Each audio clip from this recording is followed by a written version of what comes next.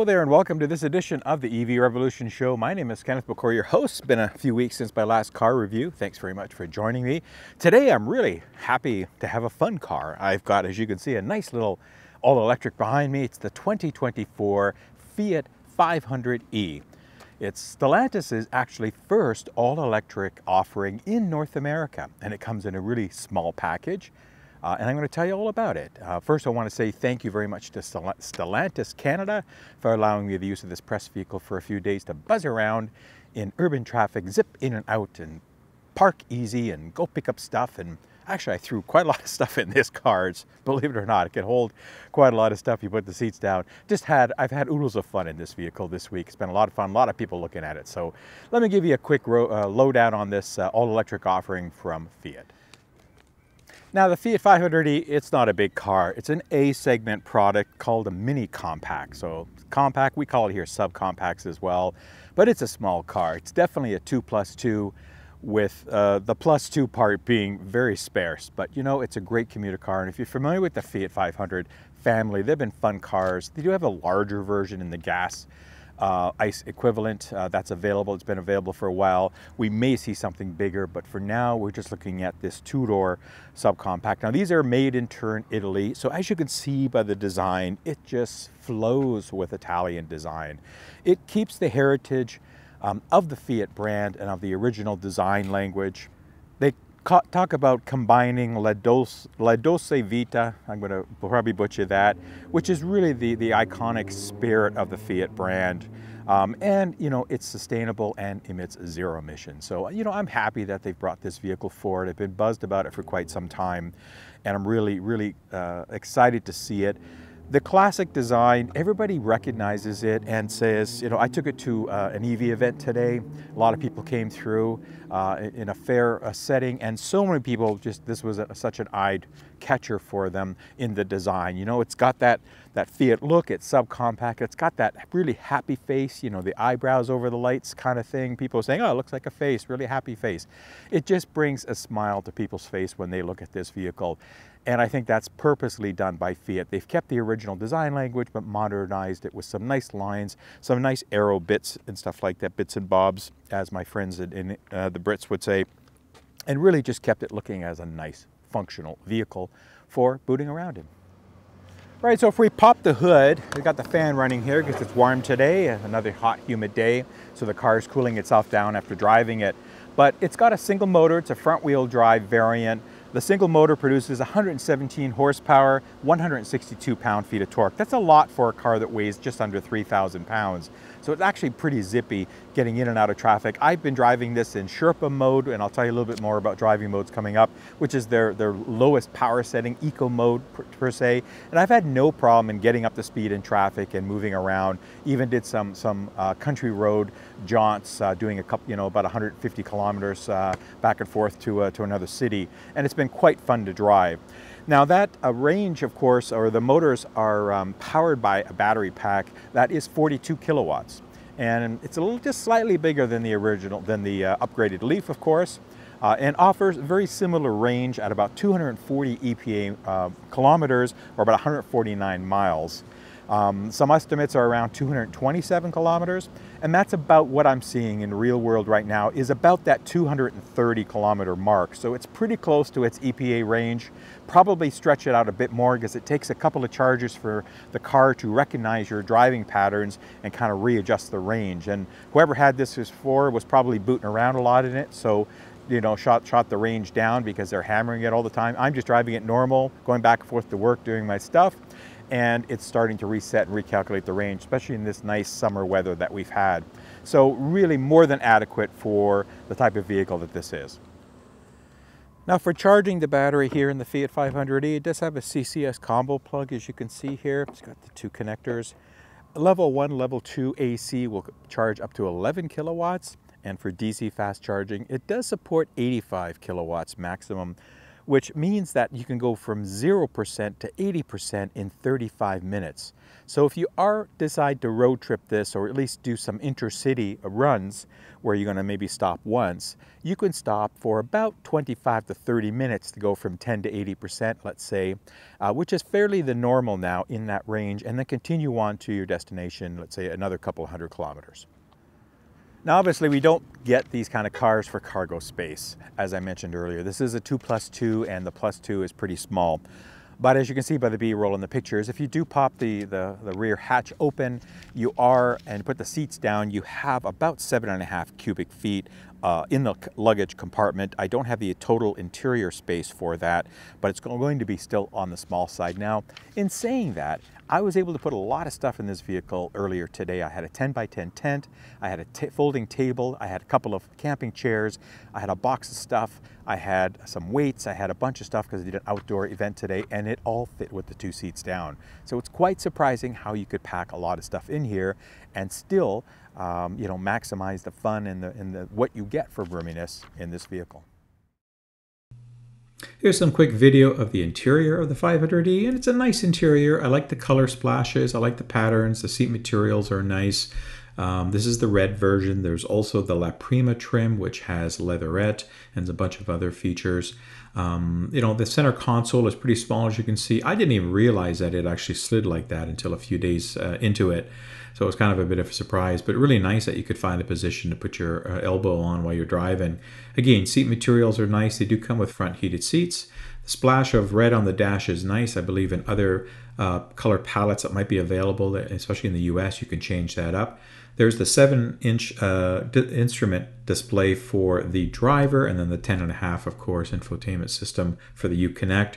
Um, it's got a standard, it's got a seven speaker uh, or Fiat Auto system, which is standard, which I said was okay. You can upgrade to the JBL 7 speaker. Lots of stuff. Again, no sunroof, no um, glass roof available for this. And then there's that back seat. It's pretty tiny. It definitely is a plus two with that single cup holder there. Um, again, you can squeeze a couple of kids in there, no problem. I went to the back and side, sat in there. I'd have to move the passenger seat up a little bit, but it works.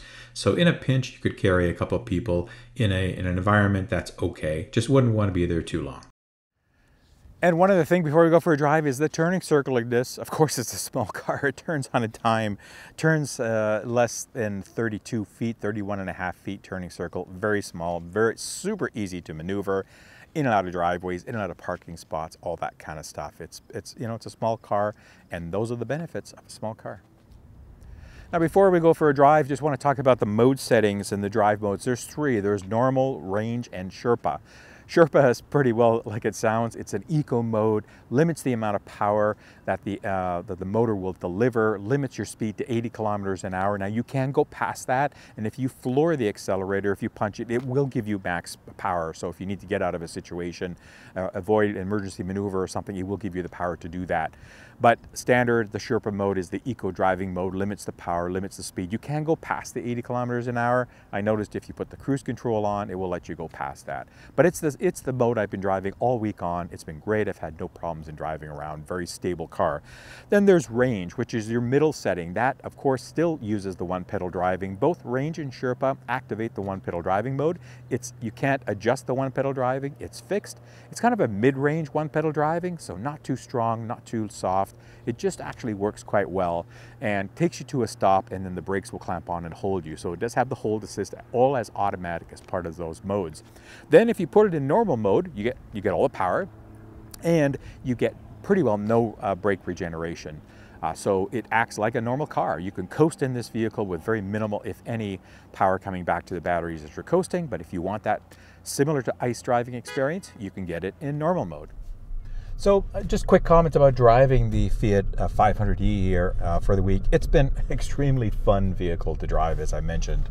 Super easy to navigate, move around parking lots and park, get in and out of places. It's just been, you know, even parking the garage, it's just been effortless with this vehicle. I've been driving again in the eco mode, which is the Sherpa mode, which has been fine. A couple times I've changed it just to try out the other modes, uh, but you know I've been fine in eco mode again, trying to get that range um, out of it. Um, it's got a good suspension. The 17-inch wheels provide really nice grip and, and a nice ride with the um, uh, strut suspension that it has here. A very pleasant experience. It can be a little hoppy over a lot of bumps, obviously because it's a smaller car. But even though it's a small car, it does have a long wheelbase for the vehicle that it is to help absorb and help handle. Visibility is good. This particular model is the base model. It does not have things like blind spot monitoring or adaptive cruise control or this kind of stuff. And I've been fine in driving it. It just has standard cruise control and emergency braking, uh, AEB, uh, and uh, lane keep assist, and that's about it. So uh, I don't really you know i'm just driving and and able to see everything. So good visibility. Um, i was concerned a little bit about the wipers but they work fine. Haven't really had to use them too much. The weather's been fairly nice this week. Um, the infotainment is okay. You know it's it's the uconnect that uh, the stellantis has in many of its brands. It's functional. It works okay. Um, you know i've been playing music. The stereo system is okay. You know i wouldn't say it's uh, it's over the top but it has a nice sound to it. This this one has a subwoofer as well. So it's a decent system. The driver's uh, binnacle display display is nice. It's a good setup there as well. So everything's easy to read. You could change some of the screens, how they look, and so forth.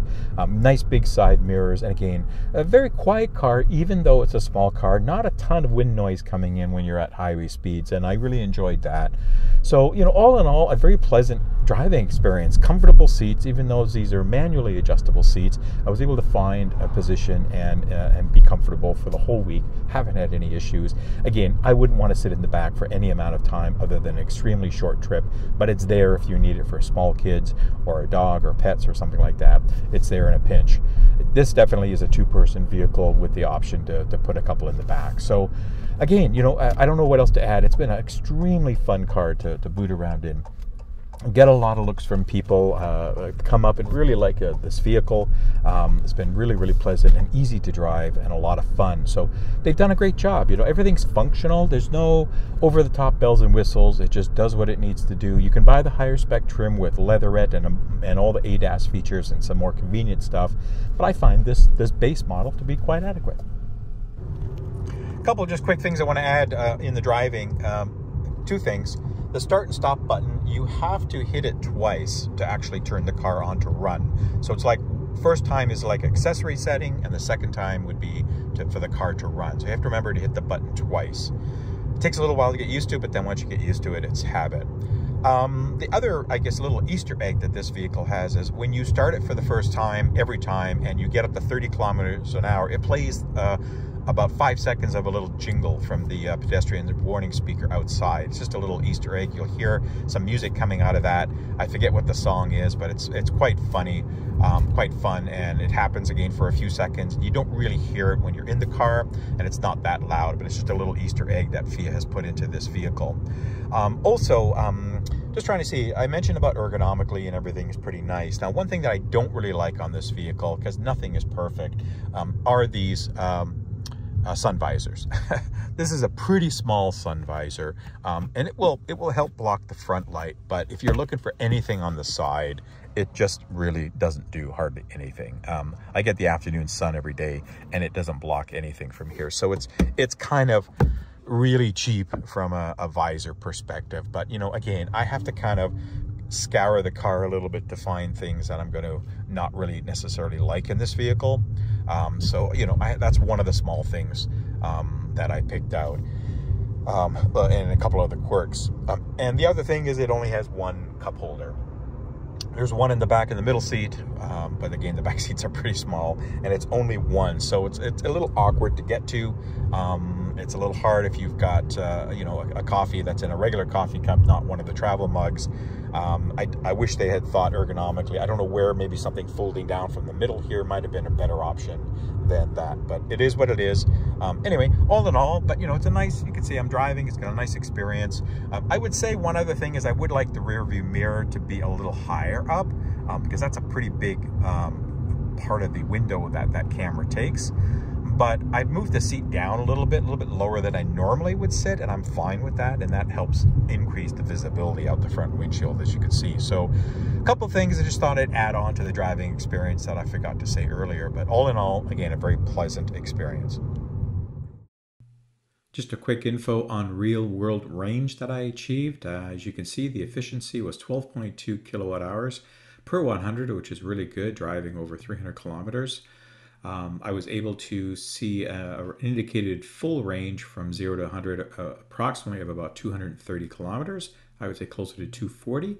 So that is achievable in just city driving. If it's some highway, probably closer to the 220 range, 215, 220. Maybe even a little higher though in the city because as you get warmer, of course, uh, the ranges get better, but very adequate for the use case that it's designed for. So for Canadian pricing, this is the uh, least expensive, lowest cost all electric vehicle in Canada right now, starting MSRP base of $39,950 Canadian. There's one trim package that you can add to this and a, some a couple of different colors to bump it up. It does qualify for the $5,000 Canadian federal incentive as well and provincial incentives as well. So if you in Quebec were able to get $13,000 off this car, you're really into uh, a very uh, inexpensive vehicle because the operating costs are going to be so low on this vehicle. So it's really a, a, good bargain and a good pricing if you're looking for a vehicle that is a secondary or third vehicle, depending on what your use case is, a commuter vehicle. Again, with that range, the charging times, it's a great daily driver back and forth to work, around the area doing errands, whatever, picking people up, picking stuff, some stuff up, doing groceries, whatever. Again, you can get quite a lot of stuff in here. It's a great vehicle for that at a fantastic price. Yes, it's a little expensive when you look at the range of what you get, but again, you're going to recoup that back in extremely low operating costs for this vehicle. So I hope you enjoyed my quick look at the 2024 Fiat 500e. Again, thanks to Stellantis Canada for allowing me the use of this vehicle. You know, it definitely is a recommending vehicle. Look, it's inexpensively priced. You get pretty good range for you know daily driving. You go home, plug it in again, off you go. Extremely low operating costs. The fun factor is really, really great in this vehicle. It's a lot of fun to drive, very zippy, peppy, and people love the looks. I just want to hug this car. It just gives you that, oh, hug me, please. Fantastic car, Fiat. You've done a good job. Certainly recommend it. Thanks very much for watching the show. All my contact details coming up. And until the next one, everybody stay safe, and I'll see you when I see you. Take care and bye-bye.